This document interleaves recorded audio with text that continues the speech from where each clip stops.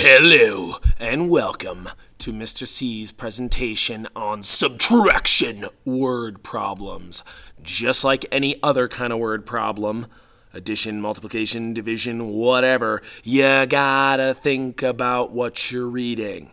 Okay, reading is so important for this. Okay, so we're just going to dive right in. This is going to piggyback off of my addition word problems lesson. If you didn't check that out yet, go ahead and find it. I'm all over YouTube. I'm blowing up in here. Okay, so go check out the addition word problem uh, lesson before you move to subtraction. But let's just jump in. Why is this important? You're going to see a lot of the same reasons that you saw in the last video. Word problems in subtraction right, are actually applicable in the real world. A lot of times when you're reading them, they're real life scenarios that you might find yourself in. So if you can solve word problems, you can use subtraction in your life. Uh, and secondly, and sadly, this stuff's all over high stakes tests. That's why you have to learn it. You know, they want to see if you can use subtraction in the real world. So they use word problems to test you on that. Um, you know, some teachers hate it, some teachers are okay with it. Uh, my opinion doesn't matter, but if if you want to get through elementary school, middle school, and high school and go on to college, and you should, then you have to know how to answer subtraction word problems. So let's dive right in. Look at these words, all right? These are a whole bunch of words where many times, notice I didn't say always, but many times if you see them uh, in a word problem, you're dealing with subtraction. And I'm just going to quickly go over a few of them. We have difference. Okay, what's the difference between these two numbers? You have to subtract. Fewer, a lot of times it's you know how much fewer or how many fewer, right? but a lot of times that word fewer. How many more? How much more? Left, as in, oh, you know, uh, Johnny had a hundred of these things, and then he gave out this many, and then he gave out this many. How many does he have left? Right? That's subtraction a lot of times. Less, that kind of goes with the fewer thing. How much less does, how much less does Mr. C have than Mr. D? You know, um, you're going to deal with subtraction. Minus needs to remain subtract. I mean, I can give you this list of words. You can memorize this list of words. But if you don't think about the word problems that you're reading while you're reading them and you actually dive into your brain, right? And say, what did I just read there?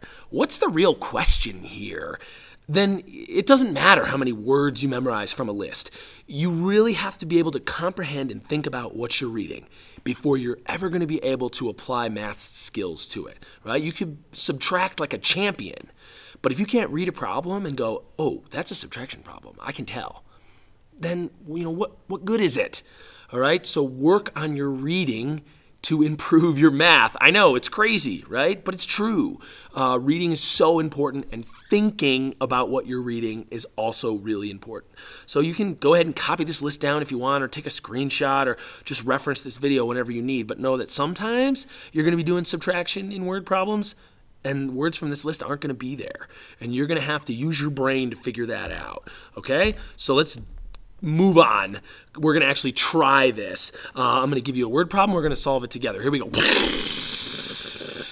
All right. Mr. C opened a bag of Takis. Oh, if you don't know what Takis are, pff, you were not born in the last 15 years. Mr. C opened a bag of Takis and counted them. There were 145.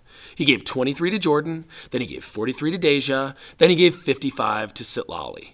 How many Takis does Mr. C have left? And there, my friends, is the word, or you can even say the combinations of words.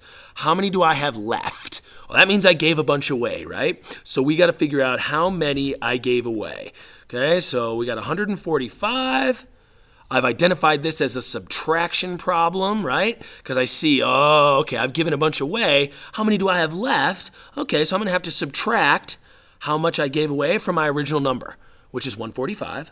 I'm going to go minus 23, right? 5 minus 3 is 2, 4 minus 2 is 2, 1 minus 0 is 1, okay? Uh, then I gave 43 to Deja, okay, 43.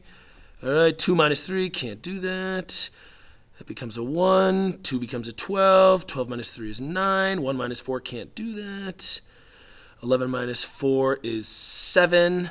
0 minus 0 is 0. Okay, I'm going to transfer up here, 79, because I got to subtract one more number, 55. 9 minus 5 is 4. 7 minus 5 is 2. Boom, there's my answer. What? That was so fast. I know. Once you practice this a lot, you're going to be fast like me. Okay? For now, take your time because you're you're learning. You need to practice. Make sure you're doing it right. You look, I've, I actually had to subtract three times for this word problem. Last step is the answer. Remember, just like in addition, you want a complete sentence here. Teachers love complete sentences. It like blows their mind when you use complete sentences in math. So make sure you do. So we're going to write Mr. C has 24 Takis. Ha Oh, Takis, I love them. Left. And then period. Boom. Done. Next problem, right? Ready to go. I used my brain. I figured out not only am I doing subtraction, but I'm going to subtract a whole bunch of times. Sometimes you're only going to subtract a few times, but in this instance, I subtracted a whole bunch of times to finally get my answer of 24. All right, you're going to have to try this, but first let's go over what we learned. First thing that we learned, knowing how to identify subtraction in word problems is super important, all right?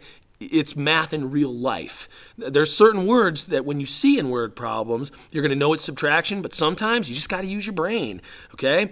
Um, sometimes you just have to think like, oh man, is this subtraction? Let me see. Let me walk through this. Let me see if I can understand what I'm reading. Uh, and then, and then finally, you know, reading is so important in math, especially with word problems. This shift to the Common Core, all right? Your school is probably shifting over to the Common Core there's going to be word problems all over your Common Core assessments. So make sure that you're working on your reading and understanding what you're reading, even in math. Okay? All right. I got one for you. You're going to try it. I'm not going to read it for you. You have to read it for yourself. Okay? Normally I would read you the problem, but this is a word problem. Read it for yourself. Okay? So read this problem, see if you can come up with the answer. It's tricky. I'll, I will give you a hint. It's a tricky problem. If you can get this right, you certainly took your time to understand what you're reading. All right. Well, good luck. You're going to be exposed to tons of word problems, so you might as well start practicing now. I'll see you next time.